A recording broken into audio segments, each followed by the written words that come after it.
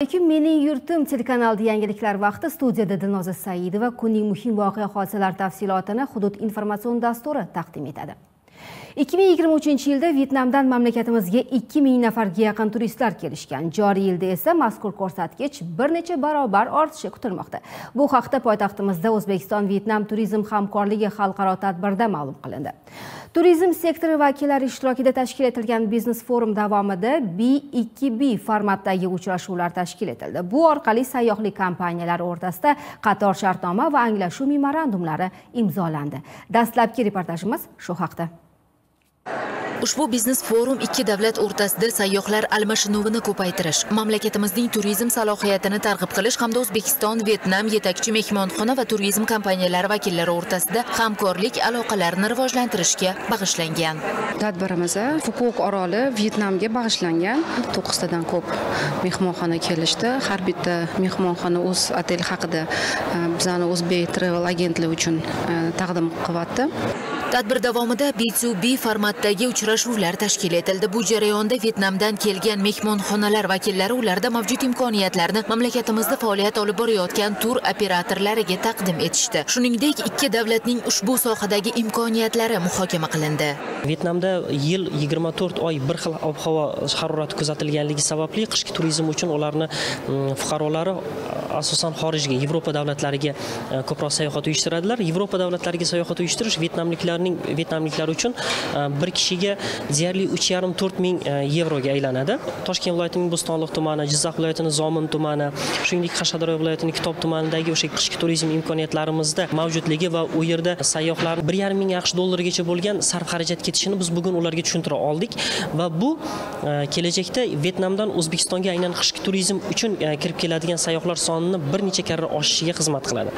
Ma'lumot uchun joriy yilning oktyabr oyidan boshlab vyetnamning fuk Kuk orollariga to'g'ridan to'g'ri aviareyslar faoliyati ham yo'lga qo'yilishi rejalashtirilgan.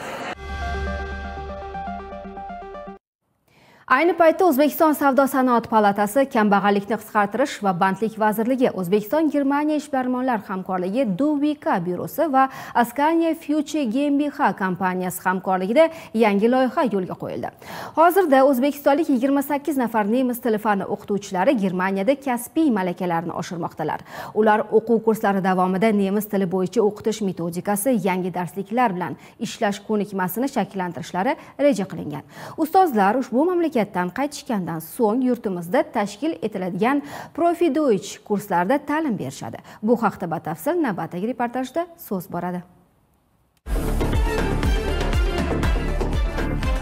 Ushbu loyiha Vazirlar Mahkamasining O'zbekistonda nemis tilini o'qitish tizimini takomillashtirish hamda o'zbekistonlik yoshlarni Germaniyada kasbiy ta'limga yo'naltirishga ko'maklashish qaroriga asosan amalga oshirildi. Shu bois mamlakatimizda faoliyat olib borayotgan nemis tili o'qituvchilarini kasbiy malakasini germaniyalik hamkorlar bilan bosqichma-bosqich oshirib borish rejalashtirilgan. Undan ko'zlangan maqsad ushbu kurslarga jalb qilingan o'qituvchilar orqali respublikamizning barcha hududlarida zamonaviy nemis tilini o'qitish amaliyotini tatbiq qilish maqsadi ko'zlangan. Ko'zlangan loyiha doirasida o'qituvchilarimiz 5 sentyabr kuni saksoniya angalt federal o'lkasining zali shahrida gutser kasb maktabida bo'lishdi. Shuningdek u yerdagi sharoitlar bilan yaqindan tanishib chiqishdi. Mazkur kasb hunar maktabi germaniyadagi kasbiy ta'lim ausbilding yo'nalishiga moslashtirilgan bo'lib u yerda 2729 nafar yoshlar texnika sanoat va hunarmandchilikning 31 ta kasbiy yo'nalishda ta'lim olishadi. Mazkur kasb hunar maktabining e'tiborli jihati shundan iboratki bu yerda dual ta'lim orqali yoshlarga kasbiy ko'nikmalar beriladi. O'qituvchilarimizdan iborat delegatsiya ushbu dual ta'lim tizimining afzalliklari ish beruvchi korxona va ta'lim beruvchi maktab o'rtasida o'rnatilgan tizimning o'quvchilar uchun juda qulayligi va mazkur tajribani o'zbekiston ta'lim tizimida ham qo'llash bo'yicha fikr almashdilar. Ta'kidlash joiz ayni paytda mazkur bilim dargohida o'zbekistonlik 5 nafar yoshimiz ham ta'lim olmoqda. Kelajakda ularning safini kengaytirish borasida ham muloqotlar bo'lib o'tdi.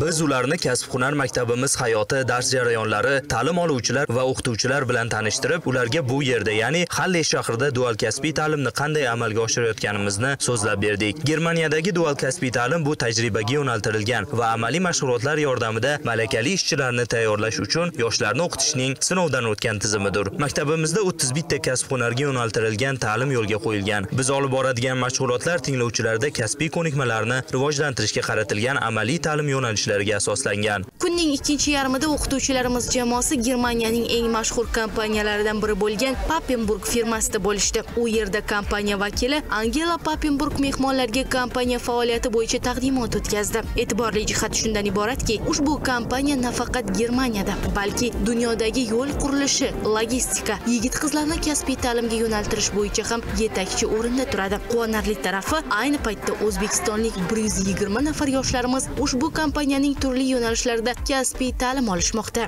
Malaka oshirishda bo'lgan o'qituvchilarimiz jamoasi o'zbekistonga qaytishgandan so'ng savdo sanoat palatasi huzurida tashkil qilingan kasbiy ta'lim va xorijiy tillarni rivojlantirish nodavlat ta'lim muassasasi orqali respublikamizning barcha 14 ta hududlarida tashkil qilingan nemis tilini o'qitish markazlarida o'z faoliyatlarini davom ettirishadi. Eng muhimi o'zbekistonda ilk bor germaniya ta'lim andozasi asosida haftasiga 20 soatlik intensiv nemis tili darslari yoshlarimiz uchun tashkil etiladi Dasturimiz davom etadi. Hozirgi reportajimizda ota meros kasbi ortidan ham hurmat, ham yaxshigina daromad topayotgan hunarmand haqida so'z boradi. Mazkur lavha qahramoni Kattaqo'rg'onda 70 yildan buyon tandirchilik bilan shug'ullanib kelayotgan nomdor ustalardan. Muxbirimiz Nozima Karimova ana shu manzilda bo'lib, Samarqand nonlari uchun maxsus yasaladigan tandirning tayyorlanish jarayoni haqida xabar qiladi. Maxsus tanlangan tuproq ikki kun davomida pishitilgan loy. Mustahkamlik uchun foydalaniladigan chorva mollarining juni 15 yilgacha xonadonlarda xizmat qiladigan haqiqiy samarqand nonini pishirib beradigan tandirni dunyoga keltiradi. Mana yasash jarayoni boshlandi.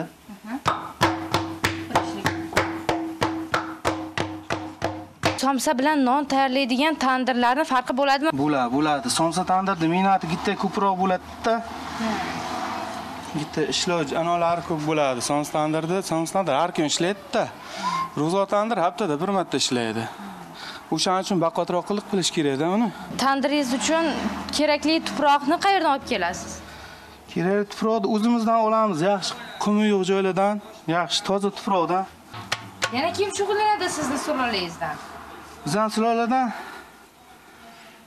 dadamni ukalari qiladi akam qiladi oxirgisi man uyda qolganim shu man qilaman. Endi nasib bo'lsa mana o'g'lim qiladi?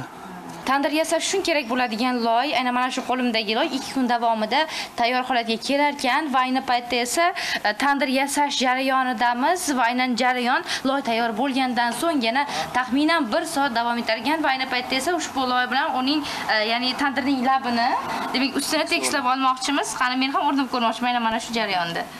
Shunaqa bo'ladimi? Ha shuni qo'yib bu ortiqcha bo'lib qoldi. Qisasini tandirning dong'i rossiyagacha ketgan. Bu xonadonda 70 yildan buyon tandir qilinadi. Mana shunday tandirlar ichida katta bo'lgan hunarmand 40 yildirki ota kasbini davom ettiryapti.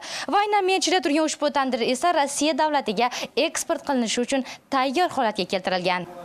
Qanday chiqaman endi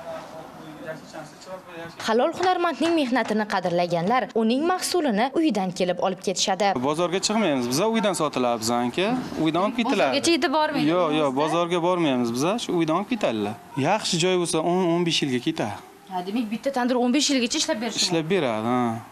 Kelganlar ham borda 15 yil bo'ladiganlari ham bor.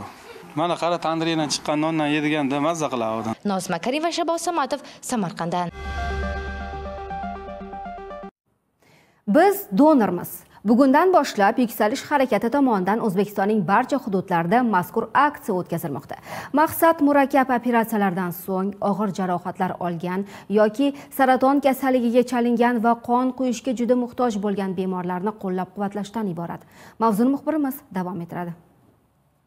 Yuksalish harakati 9-13 sentyabr kunlari hududiy qon quyish markazlari bilan hamkorlikda mamlakatimizning 14 ta hududida qon topshirish aksiyasini o'tkazmoqda. O'zbekiston Jahon xayriya indeksida eng yuqori o'rinlarni egallagan mamlakatlardan biri, ya'ni 142 ta mamlakat ichida bizni mamlakatimiz 36-o'rinni egallaydi. Ya'ni biz shunday jamiyatimizki, saxovatpesha va xayriyaga juda ham ko'nikkan, doim xayriya qilib turadigan bir jamiyatmiz. Bunday tadbirlarni muntazam ravishda tashkil etish kasalxonalar va tibbiyot markazlarida qonning yetarli darajada ta'minlanishiga yordam beradi. Ayniqsa, favqulodda vaziyatlar va rejalashtirilgan operatsiyalar uchun muhimdir. donor bo'lib kelgan insonlarni birinchi bo'lib gemoglobin gruppaligini tekshiramiz. Yaxshi bo'lsa keyin qon topshirishga ruxsat beriladi. Ayol kishilarda norma bir yuz yigirmadan bir yuz o'ttizgacha erkak kishilarda bir yuz o'ttizdan bir yuz oltmishgacha shu yerda yig'ilgan saxovatli insonlar kabi biz ham donorlikka qon topshirishga qaror qildik. Yurtdoshlarimizni hayotini oz bo'lsa-da saqlab qolishga o'z hissamizni qo'shayotganimizdan xursandmiz. Qon topshirish orqali ko'plab insonlarning hayotini saqlab qolish imkoniyati mavjud. Shuningdek mazkur aksiya jamiyatda o'zaro yordam madaniyatini shakllantirish bu jarayonning ahamiyatini keng tushuntirish shuningdek donor qoni taqchilligi muammosiga jamoatchilik e'tiborini jalb etishni maqsad qilgan. Qonga muhtoj bo'lgan yurtdoshlarimizga ozgina bo'lsa ham og'irni yengil qilish xastaligini yo'qotish va eng asosiysi o'zimizni hissamizni qo'shishdir jahon sog'liqni saqlash tashkiloti ma'lumotlariga ko'ra aholining qon tarkibiy qismlariga bo'lgan ehtiyojini qondirish uchun donorlik soni ming aholiga kamida 10 ta yoki umumiy aholining 1% tashkil qilishi kerak. Respublika qon quyish markazining ma'lum qilishicha, O'zbekistonda 2023-yil holatiga ko'ra har 1000 nafar aholiga 7.8 donorlik to'g'ri kelgan. Farmatsevtika sohasida malakali mutaxassislarni tayyorlash davr talabiga aylanib boryapti. Shu bois yurtimizda ushbu yo'nalishda bilim olish imkoniyatlari kengaymoqda. Poytaxtimizda Britaniya ta'limiga asoslangan yangi farmatsevtika universiteti tashkil etilganligi shular jumlasidan.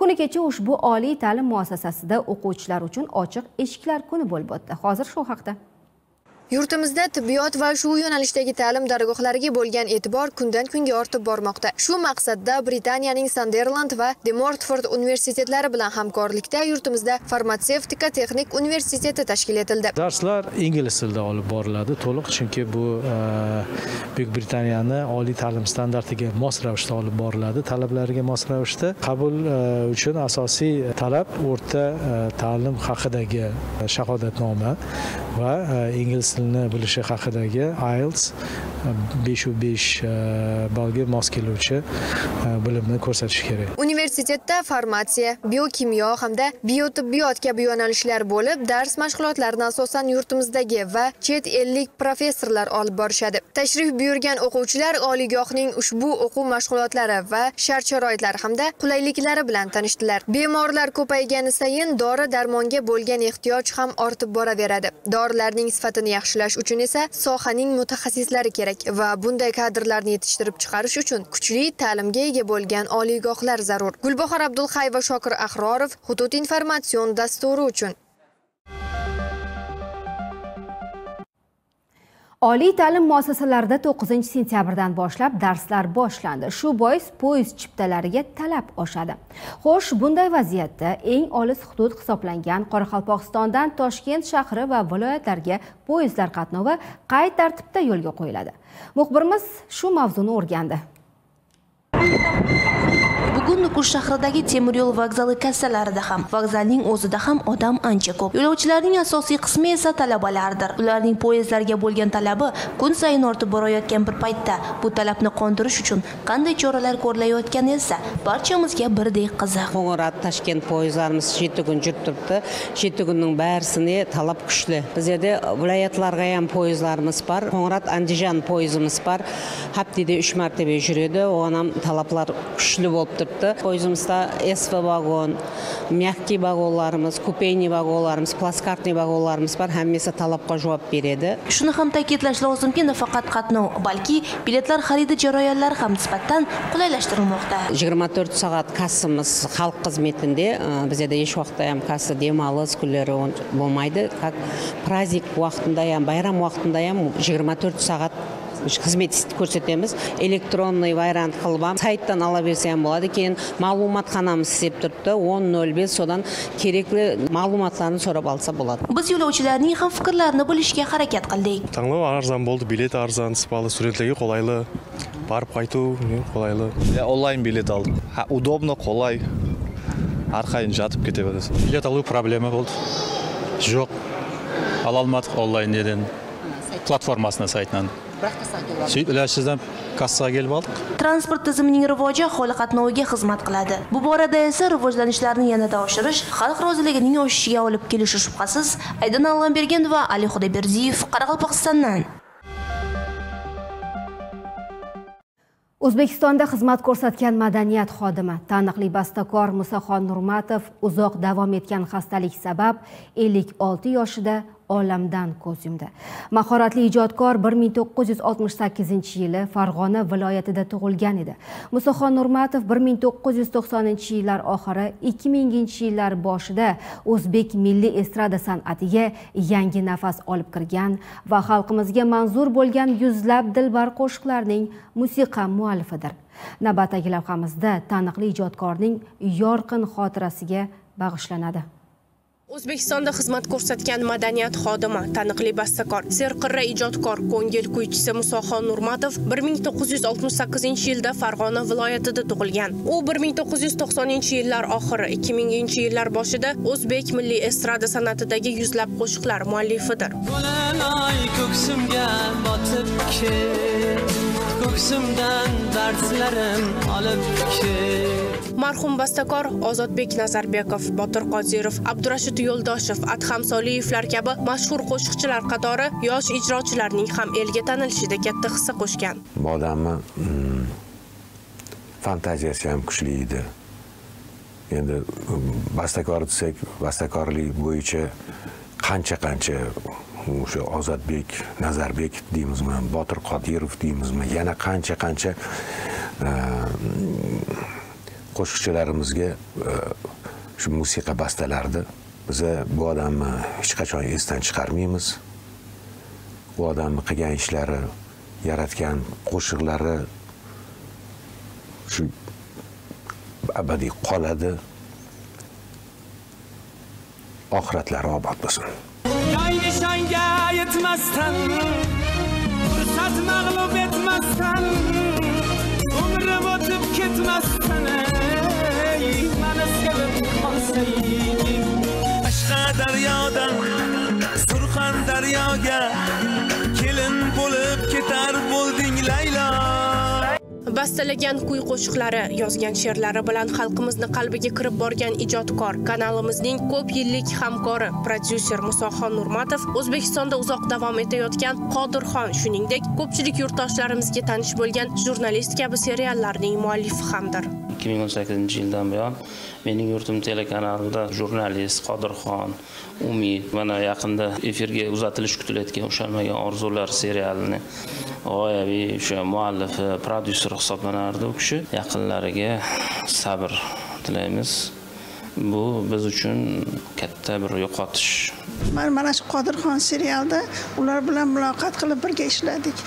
Bu odam judayam bir noyob odam edida san'atga eng kerakli odam edi san'atni eng rivojini uzoqni ko'zlaydigan odam edida ham mehribon ota bolaparvar bir oilaparvar odamligiga man hayron qolganman. Shuncha ishini ustiga yana bularga alohida vaqt ajratar ekanda man qoyil qolganman o'shanda. Judayam ajoyib odam edi endi xotiralash qoldi xolos bizga endi.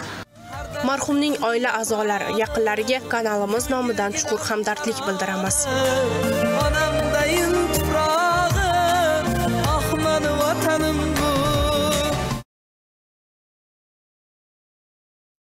17 yozgi paralimpiya o'yinlarida tarixiy natija ko'rsatib o'zbekiston sharafini munosib himoya qilgan yurt bayrog'ini ko'klarga ko'targan paralimpiyachilarimiz bugun soat 18:00 ga 00 da o'zbekistonga yetib keladi. Chempionlar toshkent aeroportida tantanali kutib olinadi. Barcha hamshaharlarimizni chempionlarimizni kutib olishga taklif qilamiz. Ana shu xush xabar bilan hozirgi dasturimizni yakunlaymiz. Men sizlar bilan xayrlashaman e'tiboringiz uchun rahmat. Mening yurtim telekanalida qoling. Oldinda sizlarni qiziqarli ko'rsatuvlar va ko'ngilochar dasturlar kutmoqda. Ko'rishguncha.